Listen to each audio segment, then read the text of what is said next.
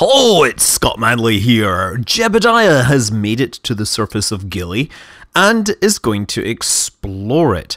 Now, the beautiful thing about Gilly is the gravity is so low that reaction wheels pretty much can turn the spacecraft as if it were in zero gravity. So yeah, you can flip yourself up above the surface, not into the air, obviously, because there's no air given the low gravity. But yeah, while up there, you can collect the science that you forgot to in the mad rush, and I'm using finger quotes here to get down to the surface. But yeah, with a bit of work, you can actually travel between biomes, although it does take a very long time. You see, I've got a three times time acceleration on this, and then I've got another. Uh, uh, four times time acceleration, but I was able to kind of walk like this down the hillside. I started at over 5,000 meters up and uh, tried to move down below 4,000 to try and get myself into a new biome. It does somewhat resemble a manned version of the Phobos missions the Soviets designed in the, the late 80s. Unfortunately, their uh, lander never operated correctly, and we never got to see a grasshopper jumping around on the surface of Phobos. Anyway, we come to a stop kind of like uh, on the downslope. We're almost kind of skiing down the mountain here. It's more like a snowboard, kind of, you know, shredding along on the, the engine there. Uh, it, of course, even though you're uh, even though you're moving, you can still collect data as if you're sitting on the surface. Anyway, moving swiftly on, we need to plan our return, and that means that the planet Eve needs to be roughly 35 degrees behind the planet Kerbin. That is the phase angle for a proper minimum energy Hohmann transfer orbit. And well, I figure I had to eyeball it, and that seemed like a good location. So then the next thing I wanted to do was wait until it was daylight so I could actually depart the surface. Now, I guess if I really cared about my delta V, I could probably get about 5 or 6 meters per second off of the surface, which, you know, is it's a significant fraction. It's probably about, you know, 5 10% of escape velocity from Gilly. Instead, I just light up the rocket motor and it accelerates me to 24, 25 meters per second in the wrong direction. Well, okay, I should have thought about that a little better. So So yeah, I have to move out from the surface of Gilly uh, very, very slowly. It doesn't allow me time acceleration at this altitude. So I have physics time acceleration, and Jebediah is just sitting there very patiently. I mean, of course he's patient. He's been out for one year, 300 days practically. I mean, I've said it before and I'll say it again. There should be consequences for taking a poor pilot and sticking them in a pod for that length of time. I think uh, they should quit the space program if you try, uh, once they get back, so that you can't benefit from the experience. Anyway, yeah, we uh, get around and I mess up the initial burn because I was in surface rather than orbit mode.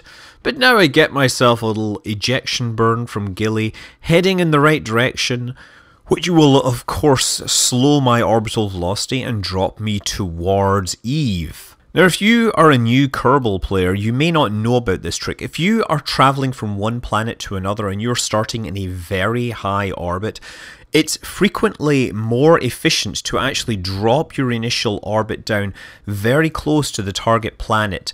Uh, in an elliptical orbit, don't circularize it, just bring the periaps down very close. I'm going to bring it to about 100. And then when you're at periaps, then you perform your escape burn. And by doing that, you actually save fuel. It's uh, something called the Oberth effect, which basically says the amount of energy you get uh, is proportional to the velocity you're going at. So if you're traveling fast when you're firing your rocket, you're getting more energy from it. It's like magic. So yeah, at periaps, I perform my burn. I need to bring the velocity up to something like uh, 4,575 or thereabouts. This was a guesstimate. I kind of overdo it just a bit because I realized the escape vector is not in the right direction.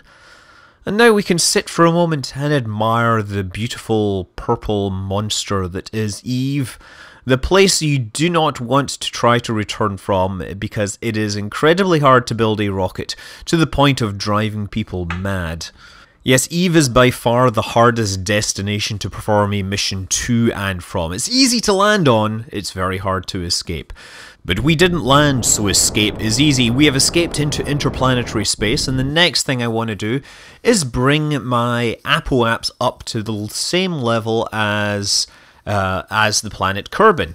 Now we are still in an inclined orbit, so again what I do is I focus on the sun and try to adjust the orbits till I see the crossing location and then I fire my thrusters along this this vector to basically bring them into alignment. So the the orbits are now coplanar, which means the only thing that can make these things miss is not being there at the same time. Now I I'm ahead of it, but it is now moving faster than me because I'm on an elliptical orbit. So I perform a burn to actually bring my periaps up. That will perhaps delay my departure, but it seems that it's not going to be enough. I fly, I fly through my apoaps and begin falling back towards the sun and the planet Kerbin is not catching up on me quickly enough. Uh, it, the, I have to get within 80,000 kilometers off it, and I'm far too far away. So I begin performing another burn to try and slow my descent so that perhaps the planet Kerbin can catch me. But truthfully, the amount of fuel I have is not sufficient, and I have to reload. And so attempt number two followed the same pattern.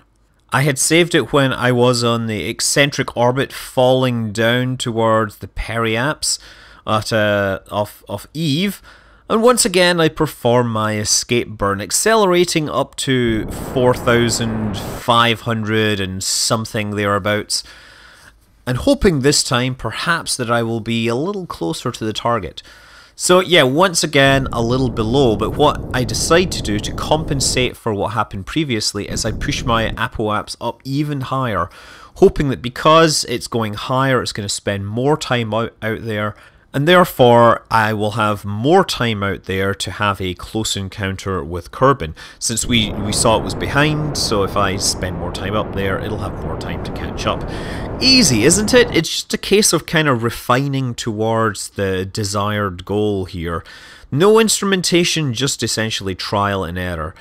And how does this go? Well, we've performed the inclination change. We're a little outside the orbit, and I can't see where it is right now, but it's out there. And does this work? 13,000, whatever, 13 million. It's lots. Big numbers here. Falling towards the planet Kerbin. Come on!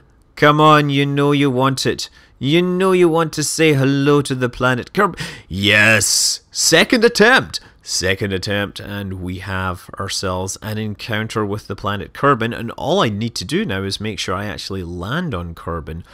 So I'm going to find the, the radial vector that pushes me in towards the planet, and then fire along that more or less. There we go. So firing this way, pushing my engines down, it's going to bring my periaps down, and we want to get it below about 30 kilometers to make sure we get captured. Uh, but 30, yeah, that should do. So there we go. And the only thing that can stop me now is an encounter with the moon, so I'm extra careful about that. Hello, moon! I see you coming around, trying to knock me off of my trajectory, but I'm going too fast for you. Ha! It's actually pretty impressive. I have a lot of fuel left, relatively speaking. I mean, I'm sure uh, I'm sure I could go and do some other missions if I wanted, but really we just wanted to go interplanetary. Gilly is the easiest target because it is next to Eve. Eve is the closest uh, place to go to. It has a relatively large sphere of influence. It has an atmosphere so you can aerobrake, and Gilly has absolutely no gravity, which is why it's the best place to try and aim for. At least if you want a spacecraft that wants to return. If you just want to land a spacecraft on another planet, Eve is really easy because it has thick atmosphere means that anything can land on the surface. In fact, it takes less delta V to put a spacecraft on the surface of Eve uh, than it does to put a spacecraft onto the surface of the moon. It's just the navigation is a whole lot harder. Parachute opens, we're falling at around 9 meters per second, and, well, all we need to do is fire the engine just a little to slow the descent down below the magic 6 meters per second or so that these uh, parts like to sustain as an impact. And we are home! We are free! Jebediah has been successful. Working with a shoestring operation, he has travelled to the planet Eve. He has landed on its tiny moon, and he has finally returned victorious to Kerbin. But having spent all over two years in the capsule, I think it's time he had a bath. I think they were telling him something when they made him land in the ocean. And so the results are in. Yeah, I got a bunch of science. I didn't really collect as much science as I needed to. This wasn't a real game. I was just wanting to see if this mission was actually possible, and surprisingly, it was. And just to verify, level 1, the spaceplane hangars, level 1, astronaut complex, level 1, administration building, level 1, vehicle assembly building, 1, mission control, 1, tracking station, research and development. Everything is level 1, and I am Scott Manley. Fly safe.